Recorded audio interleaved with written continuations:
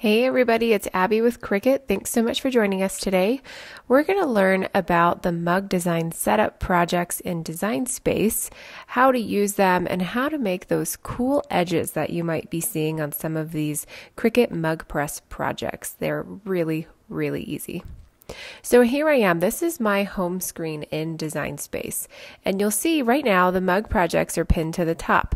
That's just because at the time we made this video, the, the mug projects were brand new. We'll show you how to find them later on if they're not pinned to the top. You'll see that there's two projects. There's the Mug Design Setup project, which is designed for infusible ink transfer sheets. And then there's the Drawn Mug Design Setup project, and that one is made for pens.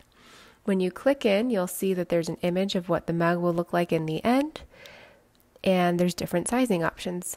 Let me show you how to find it if it's not pinned to the top. So again, we're on our home screen, and then I use the drop down to do all categories, and I'm searching mug design. You can also just search mug or mug design setup.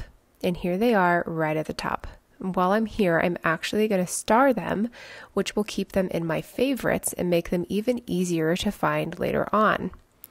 So now we'll go into the mug design setup project and understand a little bit more about how it works. And again, this one is made for infusible ink transfer sheets.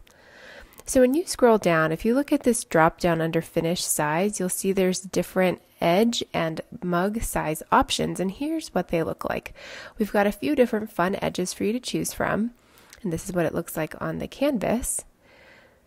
So that's the ripped edge. We've also got the wavy edge, which is really fun. The machine makes a fun noise when it's cutting it, which is always a pleasure.